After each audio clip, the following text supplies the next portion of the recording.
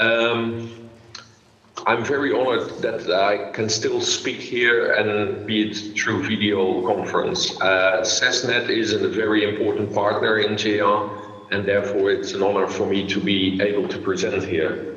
Uh, next slide, please. Um, let me first introduce what Géant is. Uh, is a lot of things, as you can see on this slide, but I think the key message is the first three words on this slide to support collaboration. That is what Géant. Géant is a collaboration. It's a community of all the research networks in Europe. We have 41 members, so 41 research networks in Europe cooperate, participate in this, and work together to make sure that research and education in Europe is supported in the very best way. Uh, next slide, please. The core of um, is is the is the network. It uh, connects um, uh, all researchers in Europe with the rest of the world, and it connects innovation, education, and it stimulates innovation.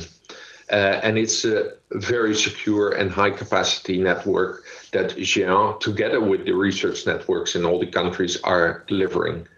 Um, if you um, uh, click one more time, please, um, you can see the map of our um, of our network here in uh, in in Europe. Um, please click. Yes, there it is. So if we enlarge this, you can see all the connectivity that we have in uh, in Europe. And on the right-hand side, you can see Prague. Prague is connected uh, uh, with uh, three connections uh, from Géant um, going to Budapest, Vienna, and and and Frankfurt.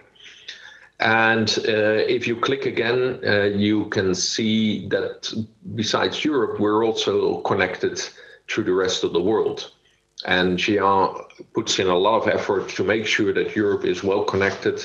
Uh, as you can see in orange, we have three 100 uh, gig uh, connections over the uh, Atlantic Ocean to the United States. But we also have lots of high speed connections into other regions in the world that are required uh, for cooperation in uh, research and science. Um, if we go to the next slide. Um, so why would you need a specific Géant and a research network like CESNET? Why can't you just use the public commercial internet? Well, I think this slide shows you uh, the difference. Uh, what we did uh, in um, uh, the first half of 2017 is for 48 hours, we sent a very large data file from Geneva to Canberra in Australia. And uh, on the left, you can see uh, the performance we got over the public internet uh, and over a 10 gig connection to the public internet. And it averages out a little bit below uh, 2 gigabits per second. On the right, upper right, you see the performance we got over the uh, Géant network with the uh, associated research networks, and that was very close to the 10 gig that uh, the interface promises. So um, if you're a researcher and you really need to transfer large data uh, sets, uh, you can see that the Géant network, together with networks like CESNET, gives a way more higher performance than the public internet does. And um, while transferring a data file, it might not be, you know, that urgent uh, that you have all that uh, bandwidth. But what if the um, if you're doing a test uh, and from Prague and you're logged into uh, CERN and the uh, Large Hadron Collider is is working. At that point in time, you want to be sure that you get all the data from CERN and you don't want to miss out because all of a sudden your performance drops. Next slide, please. So if you look at the, the amount of traffic that uh, our network is currently carrying, uh, you see that we have a growth about, of about 60% year over year. So every year we get 60% more traffic. um, which means um, uh, 140 times in 10 years, by the way. Um, and so here you can see that uh, the total combined traffic um, in the second quarter of this year was about 4.6 petabytes of traffic per day. Uh, and to give you an impression of uh, what a petabyte is, let's go to the next slide. Uh, that's a lot of data. And um, if you read the bottom line, uh, 50 petabytes is the entire written words of mankind from the very beginning of recorded history in all languages. So every every report, every book, everything that has ever been written together, if you put all that together, it's 50 petabytes. And we and we um, per day do five petabytes currently. So that means that in 10 days, we have shipped everything that has ever been written in uh, history. Um, this is to give you an impression of uh, of what our network uh, is like. But there's more than the network, as the next slide will show. Um, Géant is also services. We have a, a, a lot of services uh, that add value to the network and that are usually very specific to research and education. These are not uh, the, the services you will e easily find on the public and commercial internet. Um, these can be network-centric services, but uh, very important are the trust, uh, identity, and security services. Uh, of course, with uh, Internet of Things, real-time communications become more and more important. And we also do procurement services where we uh, and NGA procure on behalf of the whole of Europe, uh, on behalf of 50 million users in, in our research and education community. Um, if we go to the next slide, you can see one of those uh, services, uh, uh probably the most famous one, is the EduRoam service. Uh, EduRoam service makes it possible for a, a student, uh, a teacher, or researcher uh, that is registered at a university or research institute to go to any other country in the world, almost every dark blue country in this map, uh, go onto a campus of a university there and log in very safely, securely, without having to um, install all kinds of stuff or get uh, the, the, the, local password or something like that. Not necessary. With EduRoam, you just open your laptop and you're online. Um, and this works in almost 90 countries uh, uh, around the world that have now all uh, subscribed to EduRoam service that is run by Géant. Um, those kind of services make it easier for um, uh, for um, uh, the, researchers uh, and students and teachers to move around and to work uh, across boundaries of national uh, boundaries, etc. Um, if we go to the next slide, you can see that besides the network and the services, we also run a lot of projects. Uh, most of them are uh, European uh, projects within the Horizon 2020 framework. Um, and um, some of them are infrastructure projects like the Géant project itself that's called Géant. It's a very large project, about uh, 25 million per year. But we also run trust and identity projects to improve our services continuously to be um, sure that we deliver the most added value that is possible, like the AARC project. But at the same time, we also feel we have uh, uh, an obligation to make sure that what we have here in Europe will also be available in other parts of the world. So we have a lot of developing projects where we help other parts of the world to establish research and education networks and to make sure that their researchers can work with our researchers and our students can work with their stu students. So we have the Africa Connect project where we help uh, countries in Africa to set up a research network and to connect that.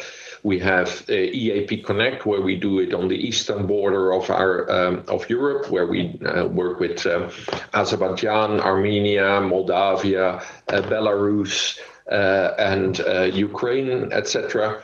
Uh, and we have uh, projects where we uh, focus on collaboration, where we focus on standardization between um, various research networks so that researchers can easily exchange data and easily connect equipment to the network.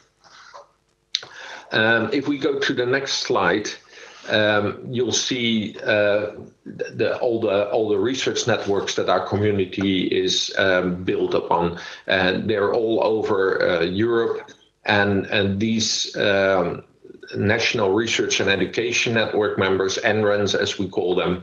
Um, together support uh, 10,000 uh, institutions and 50 million academic users.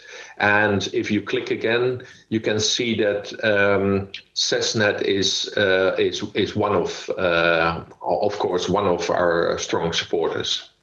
Uh, please click. There you go. I worked a lot on that animation, so I wanted to see that. Um, so CESNET is an important uh, partner in, uh, in in our community, and uh, I'd like to give a couple of examples to show you um, uh, why that is. The next slide, uh, please. Um, CESNET is very active in Géant. Uh, it is on our program planning committee, uh, which determines the direction. It's Jan himself who is involved there. Um, uh, CESNET provides hardware platforms for testing uh, and developing advanced services, uh, doing a, uh, a, large contribution in our innovation efforts. Um, it, uh, they deliver task leaders for, for the network services development and shared optical infrastructure and regional network development. Uh, they are uh, very engaged in our community program with uh, various task forces and interest groups and um, they are involved in our uh, infrastructure as a service pan-European tender, uh, which will allow uh, connected institutes in Czechia uh, to consume the cloud in a safe, easy, predictable, and cost-efficient uh, way. Um, and if you compare this to other research networks in Europe, uh, please click. Um, we can um, see that CESNET is uh, uh, is the second largest contributor to the uh, uh, community, um, and and contributing a lot. Uh, as, as, you can, as I already said, but it's uh, it's it's even in comparison to other ones, they are a large contributor into our community. next slide, please. Um, here is one of the examples of what um, CESNET uh, does for Géant. This is a technology project where we try to uh, uh, try out new technologies. Uh, so we took one of the three connections that I showed you earlier from Prague, the, the one to Vienna, and what we tried there is what we call in, in technology terms an alien wave. Uh, so what we do is we have that fiber and, and fibers across a border are usually quite expensive. So if we can use that more efficiently, the fiber, that would save cost. So what we try to do there is to have uh, different, different colors of light for different um, uh, data streams. But in this case, one of the colors of light is not uh, uh, used by um, uh, by Géant, uh, but it's used by uh, another party. And uh, so CESNET can have its own color of light over the uh, line or vice versa. Géant can have its own color of light over one of the fibers that is owned by CESNET. And to test this, we, we installed um, uh, new transponder interfaces. We connected everything and uh, we worked to get this working, and, and we managed to get that working thanks to uh. Um, next slide, please. Um, but Géant is not, like I said, it's not just technology project. Uh, Géant is all about supporting the researchers and making sure that research and education networks solve real world problems. And um, those are documented in, in a website called In the Field. And if you go to that website, you can find a, a, multitude of examples on how our research networks are uh, are used, and also the CESNET one. Uh, next slide, please. Um, this is one of the examples from that website. Uh, this is a history project, and uh, this history project is uh, uh, between the Shoah Foundation, which is based in uh, the University of Southern California, and it works together with the Malach Center here in uh, at the University of, of Prague. And um, it is meant to secure the memory of the Holocaust and genocide survivors. And uh, it's one of the largest video digital libraries in the world, uh, about 42 petabyte of data. And um, this project requires a lot of data, of course, to be shipped between uh, Prague and the University of Southern California. And this is exactly where CESNET and Géant work together to make sure that the uh, Malach Center and the Shoah Foundation have a seamless interconnection to be able to uh, to uh, ship those data over uh, without any uh, any problems. Um, if we go to the next uh, slide, you will see uh, a video of another example of how you can use uh, our network for serious research. I was struck by this image. I'm sure you've seen it. It shows nearly all of Greenland's ice sheet melting. Greenland ice sheet has experienced increased melting in recent years. The meltwater is likely to contribute substantially to rising sea levels and possible changes in ocean circulation. This could have a severe impact on the Netherlands. It's extremely important that we understand the consequences of this meltwater on coastal sea levels. Henk Dijkstra is one of the physical oceanographers that study how ocean circulation influences regional sea level. It's a big dream of mine to simulate the ocean circulation and to study how this affects sea level at coasts all over the world. One of the challenges researchers often face in realizing their high ambitions is a technological barrier. We always want to do our research beyond the capabilities of current technology. To determine accurate patterns of coastal sea level changes, we want to use the highest possible resolution in our ocean models. This will also be very beautiful to yeah. simulate also. Yeah. See them. Even if we had the biggest supercomputer in the world all to ourselves, it would take us months to get these results. A lack of computing power has been an immense obstacle in my research. 2013 marks the beginning of an ambitious project. Five organizations, EMAO, the Netherlands E-Science Center, SURFnet, SURFSARA and COMMIT join forces to connect four of the world's top supercomputers. The Netherlands-based Cartesius is connected to Emerald in the UK, SuperMUC in Germany and Stampede in the US. By connecting these supercomputers, Henk's team can perform more and bigger calculations and achieve a much higher resolution model of the ocean circulation. No other project connects four supercomputers with light paths, transporting data at 10 gigabits per second.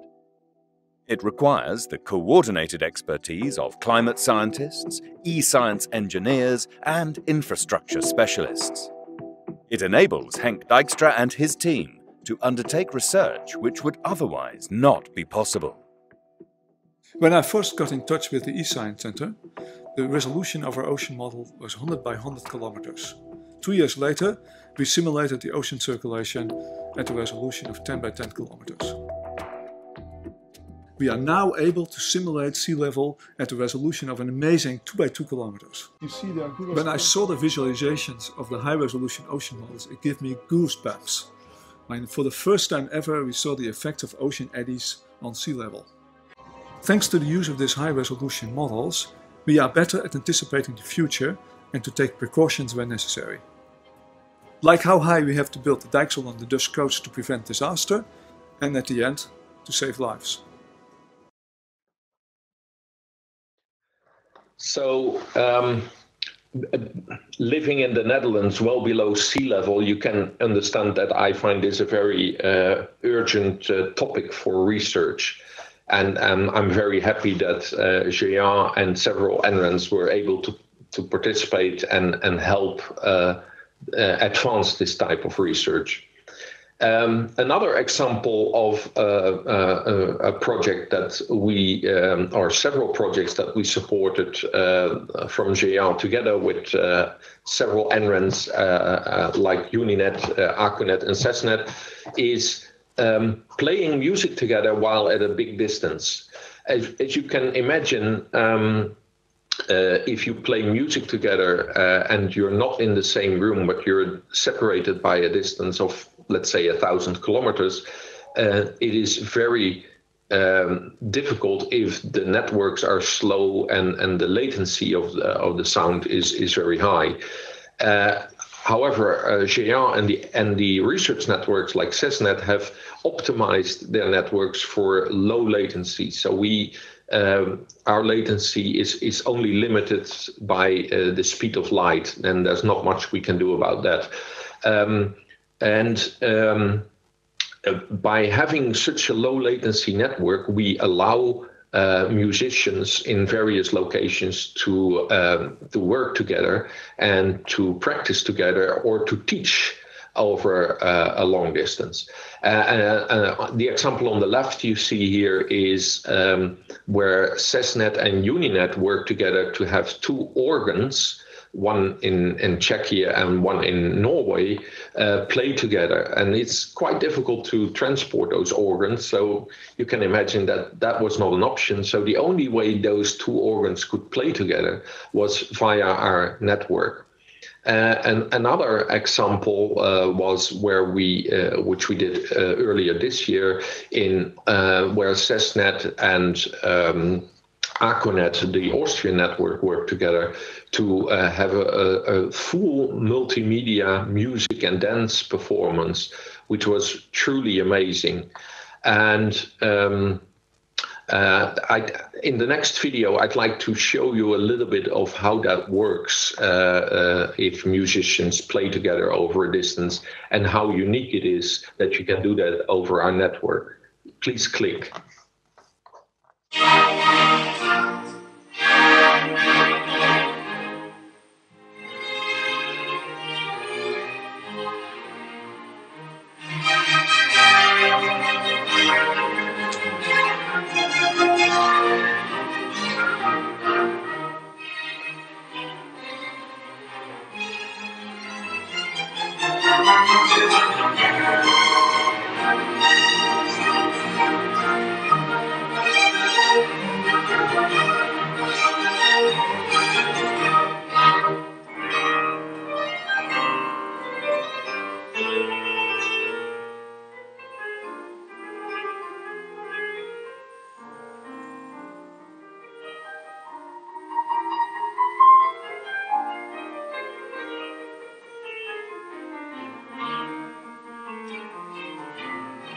It's low latency uh, audio uh, streaming, or LoLa for short. And it's a technology that enables musicians separated by long distances to play together just as if they were in the same room. The opportunity this brings, for example, for teaching, sharing, rehearsal, and indeed performance are absolutely immense. Just one small aspect of one discipline which you expand right across the Janet network, and it just shows the opportunity there is. What we did was to try to make possible real human interaction across high speed and very reliable networking styles like ours. Only ours can do that. And uh, yes, it's true, only ours can do it. and make people able to do one of the most complicated things which existing in the world, to play music together, even if they are thousand kilometers away. Can you hear me? Yes. but, well, uh, as, as, you've heard, I'm up in uh, Edinburgh at Napier University. We're in the music department here. And um, it's a real pleasure to be able to put this concert on for you tonight. Um, we're going to play a few jazz tunes. We're going to start with a blues written by trumpet player Clifford Brown, and this is called Sandu.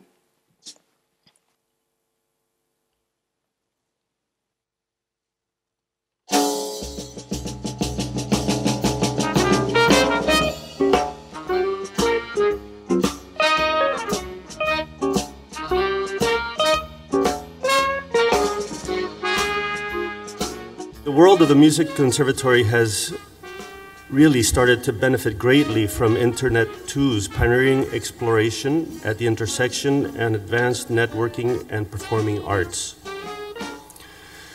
Together with your international partners, you have created a global conservatory enabling our students at Curtis Institute of Music access to artists, coaches, mentors around the world.